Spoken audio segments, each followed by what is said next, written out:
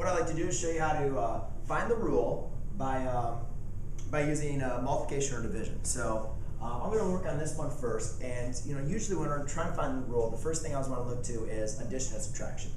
Um, and after I can't find addition and subtraction, I look to multiplication and division. And once I can't do multiplication and division, I look to a combination of the two. And then if I can't do that, I work on other things like squaring, square roots, cube roots, cube roots, blah, blah, blah. Um, but up here, first thing, let's look at addition and subtraction. And I see 1 to get to 4, I have to add 3. Now, does that stay true for the rest of my values? Does 2 plus 3 give me 8? No. So therefore, since that's not continue, um, you know, the same thing for every single value, I can't use the rule x plus 3, or any of my values, add 3 to get to here. So now I'm going to have to look for multiplication.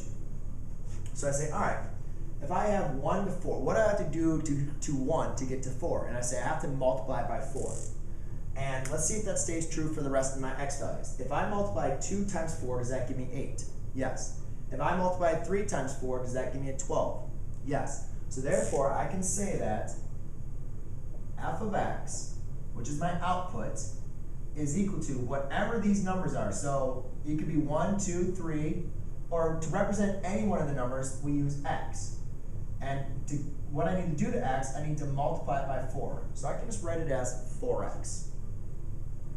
Um, so this one's pretty simple to kind of see. It's when they're all in the order, when they're all you know kind of right next to each other. Here, it's a little more difficult. Um, what we have is we have these all kind of split up. We have a negatives. We have you know they're not together. They're not in order. They're not consecutive at all. So when I'm looking at this again, let's go and see if I can do. It looks like I'm gonna have to do subtraction. Um, so I'll do or even addition. Actually, it's kind of odd. So I do 10 minus 5 gives me. I'm sorry. 10 minus 15 would give me negative 5. Does, if I do that for negative 6, negative 6 minus 15, does that give me 2? No, the answer um, doesn't work.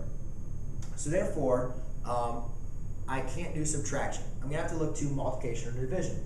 Well, since my top number, since my input values are larger than my output values, I'm going to have to multiply by a fraction or divide by a number. So I say, all right, well, what do I have to do to get from 10 to negative 5? And you can say, well, you can divide by 2, right? Um, so if I take my number and I divide it by 2, it will give me negative, negative 5. But it has to be a certain type of 2, which was a negative 2. So I got to make sure I divide by negative 2. Um, now let's see if that works for the other problems. Negative 6 divided by, oh, I didn't write these in right. No wonder that work. That has to be a 3. No wonder you probably couldn't figure it out, right?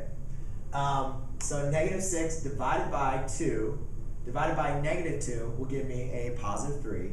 And 1 divided by a negative 2 gives me a negative 1 half.